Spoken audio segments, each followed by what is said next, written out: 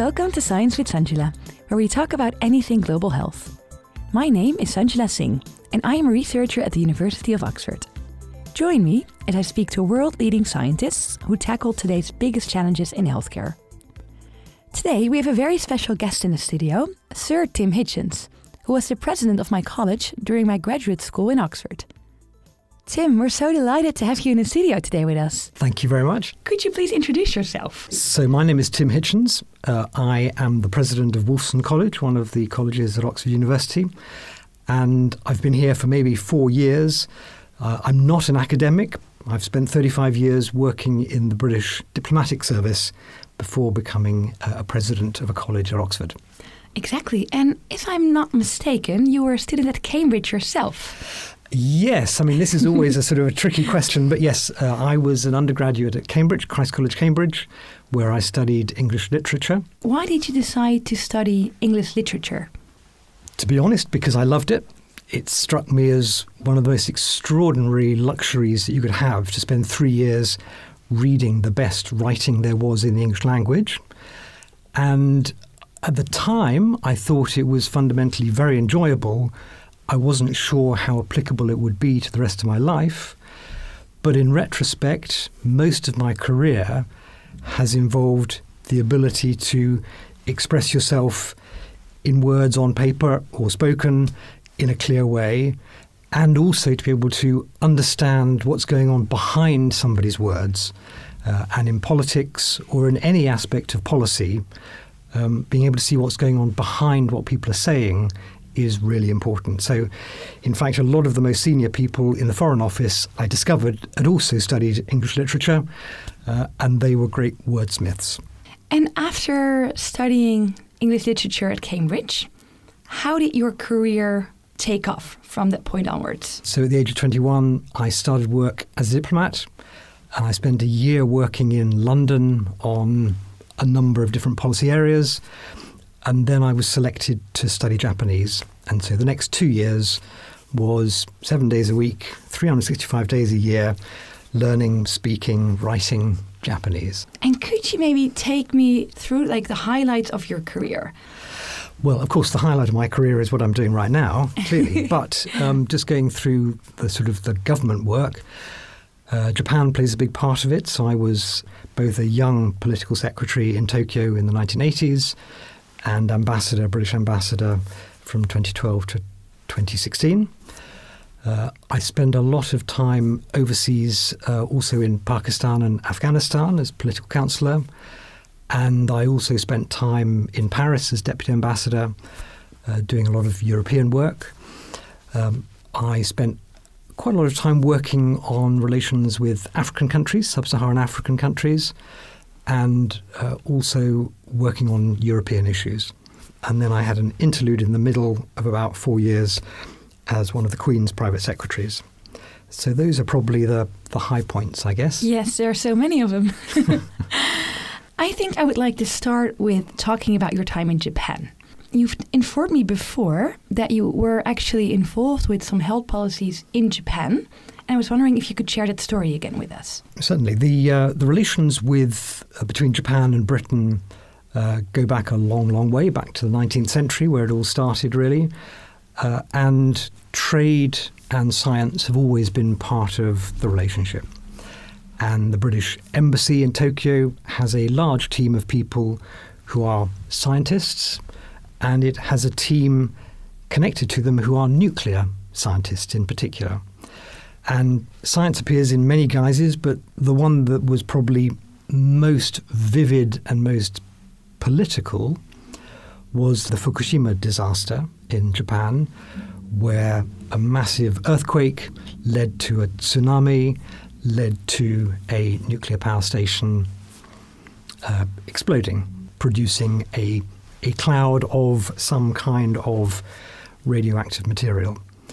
And this produced a real concern both among the British and foreign community in Japan, but also among the Japanese themselves. And part of the issue was that in Japan, the nuclear establishment had been very highly praised and valued by the whole population people believed in the nuclear system and its full safe technology. And so when that technology failed, as it did during that explosion, public sentiment, having been utterly trusting of those scientists, switched exactly to the opposite, and nobody trusted any expert in Japan on nuclear issues. And that meant that in public discussion, there was nobody standing up in public and describing for the Japanese people or for the international community what the real risks were. And we found that because the British had great expertise in nuclear science, and because in Britain we have a system called SAGE, which is the Scientific Advisory Group in Emergencies, which brought in expertise from the best of science around the UK. And interestingly enough, because of the time difference between the two countries, you would be able to have a day when you got lots of data of what was going on in Japan. You could send it back to the UK overnight, and during the day in Britain, people, the scientists, would analyze the data and would be able to explain what the risks were of that radioactivity, uh, what the risks were for where it would be, and the British Chief Scientific Advisor, John Beddington, at the time, was able to be issuing statements which were absolutely vital both for the British population to decide whether to get on planes and fly out immediately, but also, for the Japanese population to hear a balanced voice on the risks, but also what weren't the risks from nuclear power. And that influenced politics. It was good for Britain because we were seen as a place that was balanced, but it was useful for the Japanese population as well. Right. So I think that's such a perfect example of how diplomats as well have a very important role in, in making those health policies. What do you think that scientists in Japan could have done differently to maybe have one voice or have some form of like scientific leader um, to guide their own country through like a disaster like that? The answer is to have someone who is both inside government or inside a figure of authority, but who also is able to be critical of and independent of political authority. And so that produces the trust because if the public hears somebody saying, don't worry, they believe it because they know that person has in other occasions said, do worry. Right. And so it's finding a system for people to speak up, scientists to speak up in ways that can go against the political interests of a government right. for the sake of scientific truth. Do you think scientists and diplomats often speak the same language? Or do you think sometimes they have trouble understanding each other? When I joined the Foreign Office, in my intake of 20 people, there were maybe six who were scientists. So you want a number of people who can come in and who already understand the language of science. The other point I'd make is that I think good diplomats are the ones who can understand and listen to expertise across the board, be it scientific or economic or cultural, and turn that into language which can be easily understood by a broad audience. Because in a democracy, your job is to take difficult subjects and put it in ways that politicians can understand and take good decisions about, and then can be communicated externally. So I think the diplomats themselves, we should regard ourselves as, as a cipher to turn complex issues into simple language but recognizing that you mustn't oversimplify. Now, I would like to invite you to give a mini lecture of about one minute. Whenever you're ready, please go ahead. If you live in a democracy, as we as we do, uh, the views of the people are the heart of sovereignty, and our politicians, therefore, have to be the ones who take the lead in expressing the public view. But they won't be able to take the right decisions for us collectively unless they have the best expertise available to them. But if you have the experts trying to take the final decisions, they won't be aware of the democratic context. And so this is where the context, the, the phrase experts on tap but not on top comes. I wouldn't claim to be an expert in anything really, oh. but I know a lot of people who are experts who I can turn to, who have great wisdom, and I probably have an ability to integrate those in a way that is clear for people to understand. And I think that is more broadly true for any political system. You need access to the experts, scientific, economic experts, but you primarily need to be able to explain what they're saying in language that will get democratic consent or which is disagreed with by the public, but at least their views are expressed publicly. Very, very well said. I think even within a minute. So that's very, very impressive. I have a follow up question on that. So sometimes within the scientific field, experts do not agree with each other. How can you how do you deal with that as a diplomat? This is one of the most difficult questions because most members of the general public don't understand the, the, scientific method. And nor should they. It's not their job, right? It's not their job to understand it necessarily, but they should know that when you say we follow the science, that's not really true because the science can take you in many different directions. And there is uh, a challenge with having groups that advise the government, which kind of suggests that there is one opinion that is the right opinion that the government listens to, whereas anyone who's involved in science knows that there are many, many opinions. Yes. But if lots of people express different opinions, that's not very helpful to policymakers. yes, I can only imagine. So I personally think you need scientists willing to come to the government and talk about where central assumptions are on a particular issue, but without ever claiming that that is the right answer in politics, people always try to shift the blame and responsibility onto others. You can't simply say, we follow the science, and if the scientists are wrong, it's their fault. Every one of us has to make judgments as we go. Yes. And could you please provide me with an example of your time in Africa? So, one of the biggest challenges um, over the last 20 years in Africa has been the Ebola outbreak. outbreak. Um, primarily in Sierra Leone and Liberia, the West African area, which, as, as people will remember, was one of these terrible um, contagions that led in a very large percentage of cases to, to death. And it started as a disease that was affecting a local population. We then started to realize that it was moving very fast, much faster than uh, others would um, would have guessed. And then we started in the UK having the first cases coming to the UK as well. But we pretty soon realized that to get it under control, it was more than a purely medical affair, because the way in which cultures in places like West Africa operate is not the same way as European countries operate. And that the way in which people who've died, the rituals for burials, rituals for funerals, are very different from what one might expect elsewhere.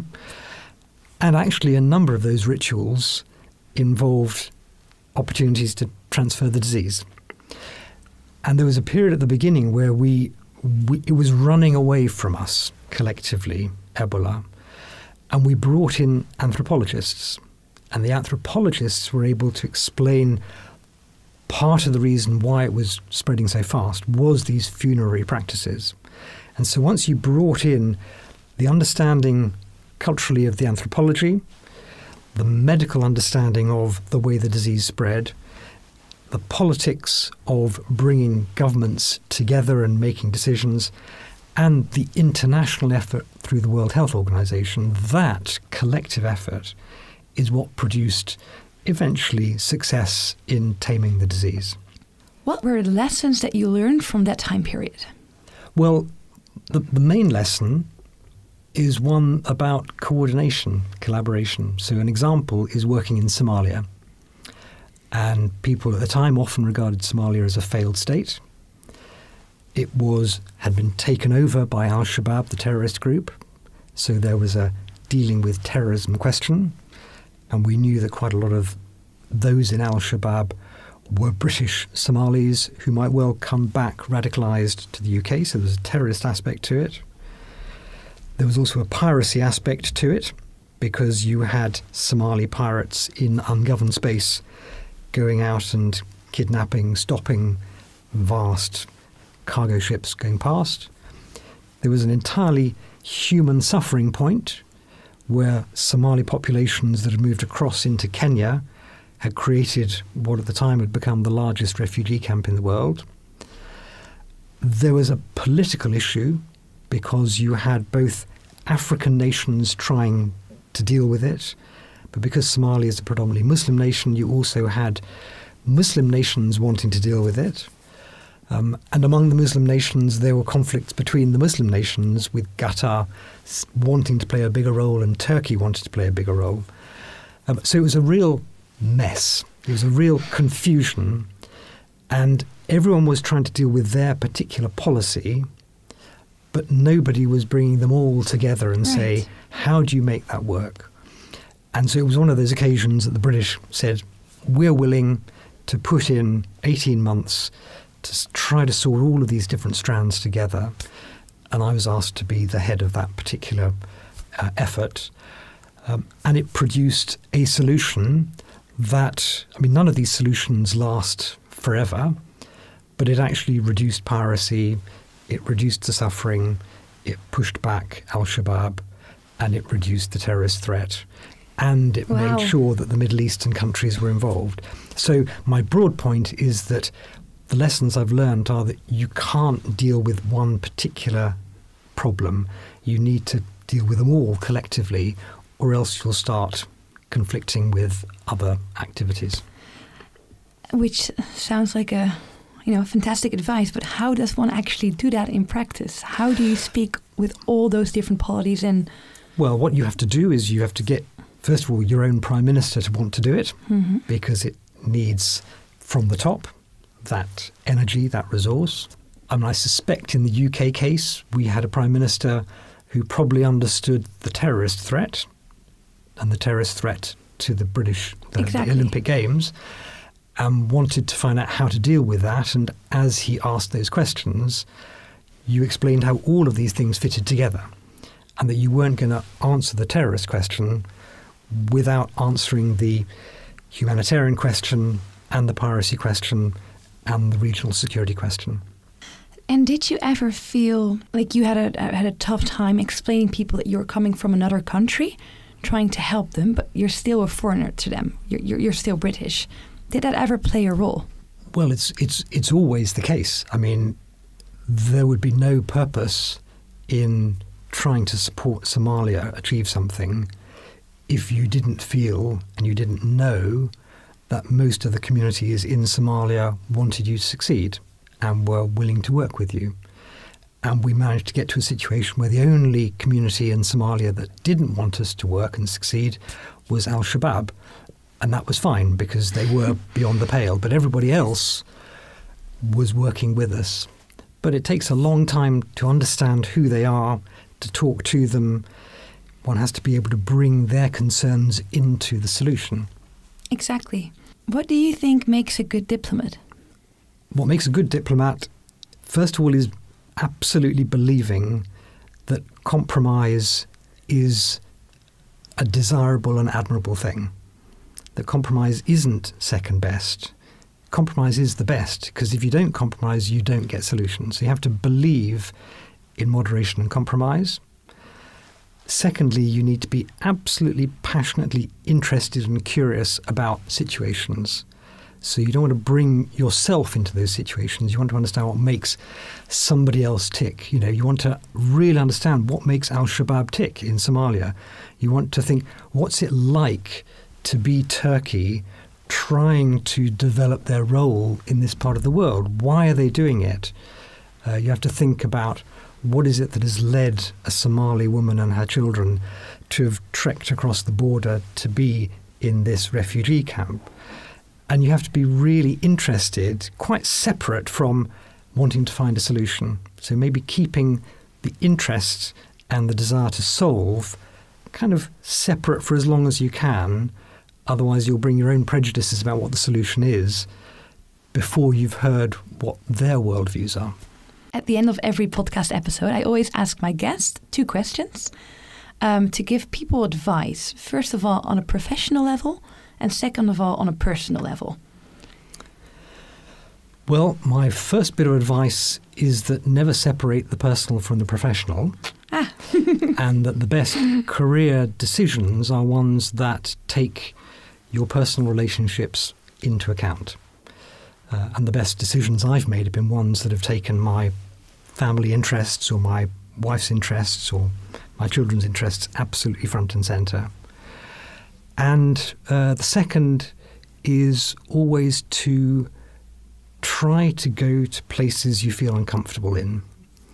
Um, there's a quote by John Milton, the English poet, which is rather 17th century in its language, but it says, That which purifies us is trial, and trial is by what is contrary.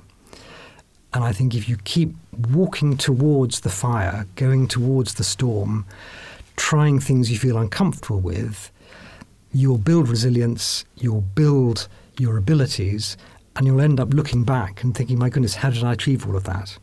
And that certainly has been my my aim, you know, try to learn the hardest language I could find, go and work in some of the hardest places you can imagine. And if you even achieve half of that, you'll have achieved an enormous amount. Thank you so much for having this fascinating conversation with me today, Tim. And this actually leads us to the end of the first series of the Science with Sanjula podcast. It's been a great honor to interview some of the brightest minds in the population health space, and we hope that you enjoyed listening to our podcast too. Please feel free to reach out to us via any of our social media platforms. Thank you very much.